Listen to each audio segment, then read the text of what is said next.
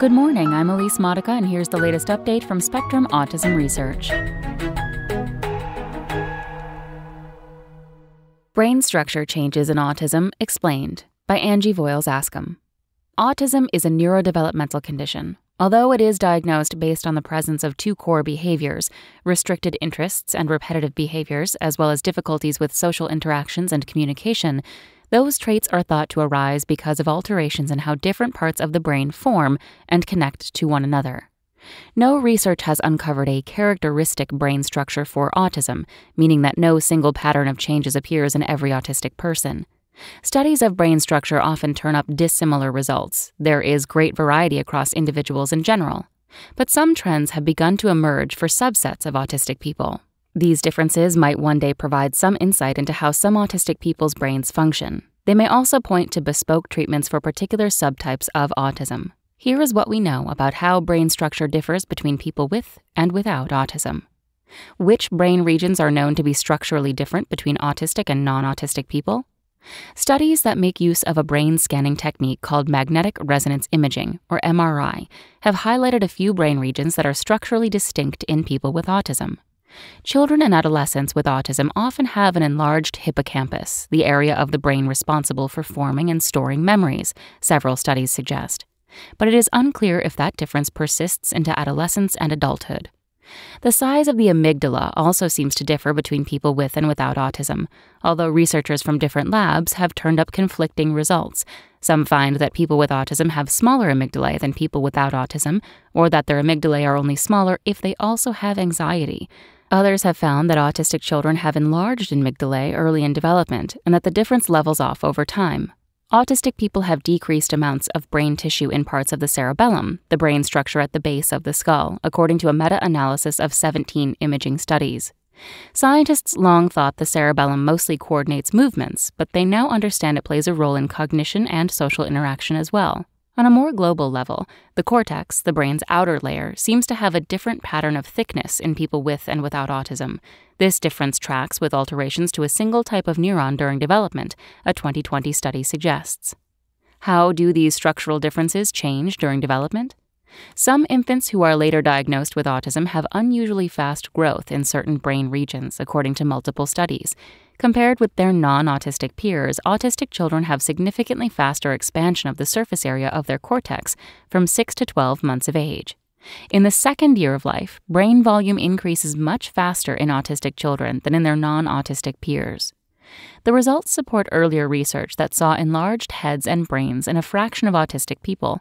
Their cortex seems to expand too quickly in infancy and early childhood, even before autism traits can be detected behaviorally. During late childhood, neurotypical brains continue to grow in size. In adulthood, they begin to shrink.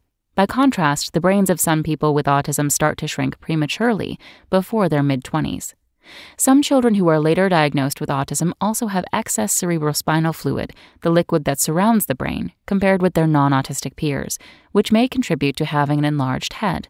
Those with the most fluid tend to also have the most prominent autism traits later in life, the excess fluid appears as early as six months of age and persists through age three.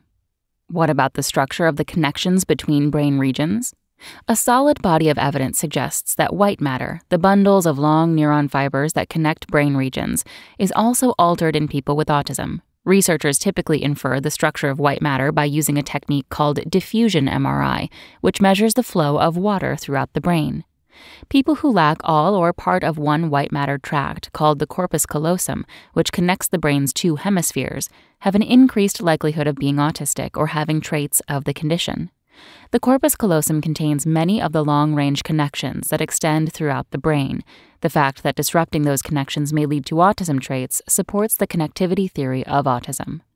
Preschoolers with autism show significant differences in the structure of multiple white matter tracts, according to a 2020 study. Autistic toddlers and adolescents, too, show alterations in white matter throughout the brain. Are there sex differences in the brain structure of people with autism? It's unclear. Identifying sex differences in autism remains challenging because fewer girls than boys are diagnosed with autism, says Mark Shen, assistant professor of psychiatry at the University of North Carolina at Chapel Hill. Still, a few recent studies have turned up hints of sex differences in the brain in autism. A 2020 study showed that the amygdala is more affected in autistic girls than in autistic boys. An enlarged amygdala is associated with more severe emotional problems, specifically in autistic girls, according to other work. White matter changes in preschoolers with autism also differ by sex. Autistic girls have an increased measure of structural integrity in their corpus callosum compared with non autistic girls, whereas that measure is lower in autistic boys than in non autistic boys. Other structural differences, such as the rate of brain growth and the amount of cerebrospinal fluid, appear similar between the sexes. Why is brain structure in autism important to study? Because autism is a heterogeneous condition, when we talk about autism, we're probably talking about different biological subtypes, Shen says. Though not every baby who is later diagnosed with autism will have excess brain fluid at six months of age, and not every autistic adult has an underdeveloped corpus callosum, learning more about these subtypes can help researchers develop biologically based treatments for individuals with autism. Additionally, finding structural biomarkers that can identify subtypes of autism in a non invasive way, even before autism behaviors can be detected, will help move the needle earlier for autism diagnoses, Shen says.